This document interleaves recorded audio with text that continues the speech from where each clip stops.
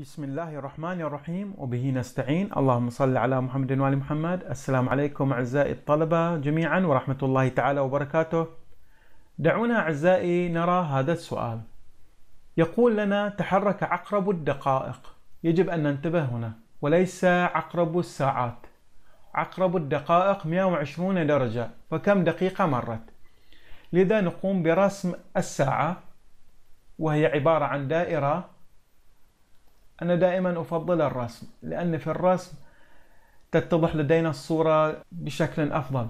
طبعا نحن نعمل على الدقائق إذا نقوم بتقسيمها. أولا إلى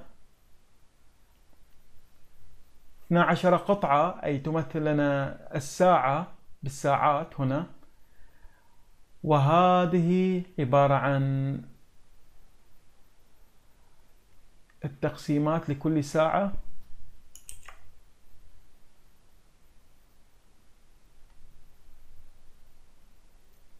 وهي عبارة عن 12 قطعة. طبعا نحن لا نعمل على الساعات نعمل على الدقائق. خمسة ستة سبعة ثمانية تسعة عشرة إحدى عشر قطعة اثنا عشر قطعة. طبعا هنا ستصبح لدينا ماذا؟ ستصبح لدينا ستون دقيقة. مجددا نقول بأننا نعمل على عقرب الدقائق. أي ستون دقيقة إذا مر العقرب من هنا إلى هنا. أيضا نحن نعلم بأن في الدائرة الدائرة تحتوي على 360 درجة.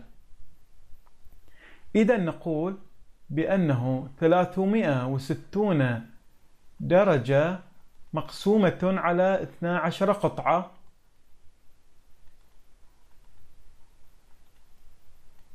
أي هذه القطع إذا تساوي لنا ماذا؟ تساوي لنا ثلاثون درجة للقطعة الآن السؤال كم دقيقة لكل قطعة؟ فنقول بأن هذا التدريج كله عبارة عن ستون دقيقة مقسومة على كم قطعة؟ مقسومة على 12 قطعة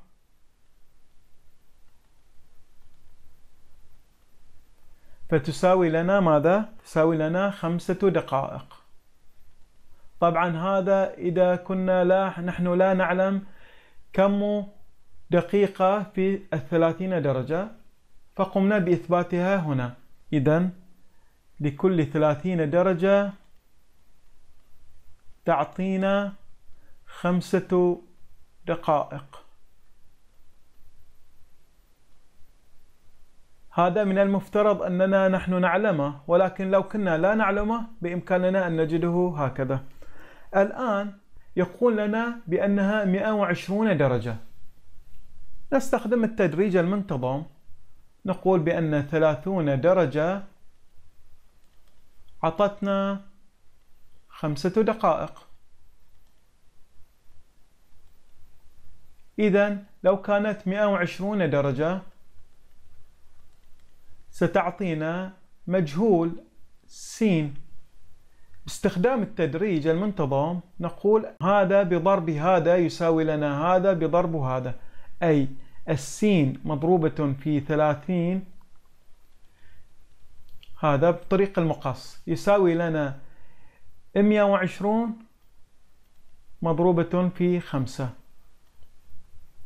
أي السين أي عدد الدقائق تساوي لنا مئة وعشرون مضروبة في خمسة على ثلاثون.